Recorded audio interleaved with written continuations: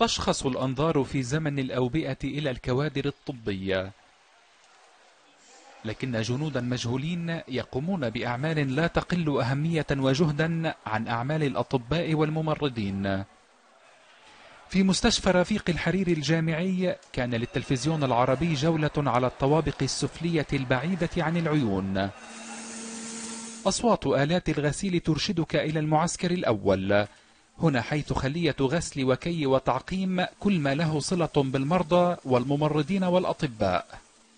طريق لم الغسيل من أقسام الكورونا غير كليا طريق لم الغسيل من الأقسام العادية من الطوابق العادية. نحن عندنا غسالة خاصة بأقسام الكورونا إلى بابين يعني باب بنفوت فيه الغسيل اللي بنلمه من المرضى لنغسله وبس يطلع الغسيل وينضف بناخده من باب تاني كليا.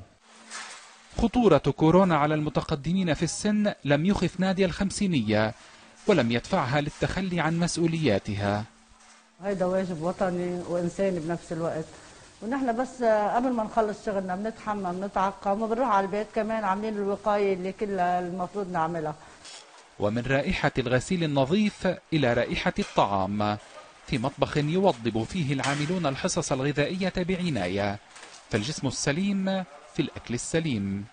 تحضير وجبات الطعام تبعول المرضى بكل الأقسام بما فيهم أقسام العزل بمطبخ مستشفى رفيق الحريري الجامعي. بلشنا نقدم الأكل بمستوعبات أحادية الاستعمال لنتفادى انتقال العدوى لباقي المرضى وباقي الموظفين.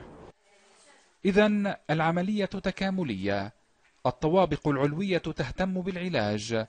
والعاملون هنا يجهدون في التنظيف ومد المرضى بالأطعمة المغذية.